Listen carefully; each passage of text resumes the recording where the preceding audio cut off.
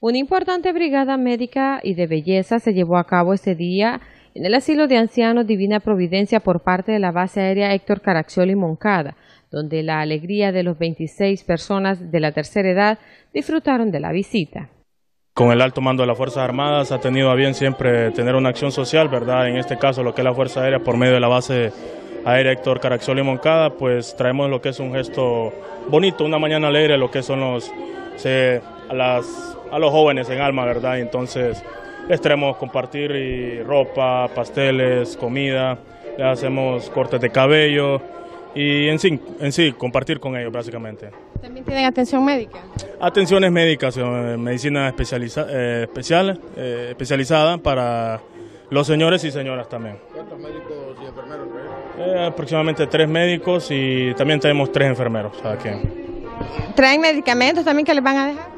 Traemos medicamentos para donación también, para que quede aquí en el asilo y así pues solventar un poquito lo que es la crisis de medicamentos.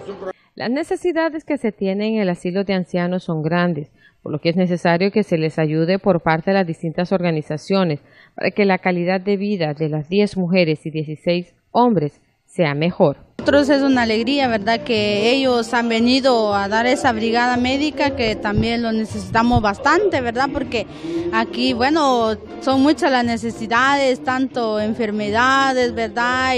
Y, también mantenimiento de ella, ¿verdad? Mantenerlo, limpiar las uñitas, pintarlas, que les gusta eso, ¿verdad? No solo no solo las mujeres, también los hombres, hay unos hombres que dicen, yo quiero que me pinten el pelo, entonces, entonces creo que de verdad les agradecemos muchísimo a la Fuerza Aérea que haya venido con esta brigada médica. Así es, embelleciendo a estas bellas damas. ¿Qué más les han pedido? Rayitos, pintado de uñas, eh, tintes. Eso es lo único que ahorita han pedido. Casi todas. Todas, la mayoría.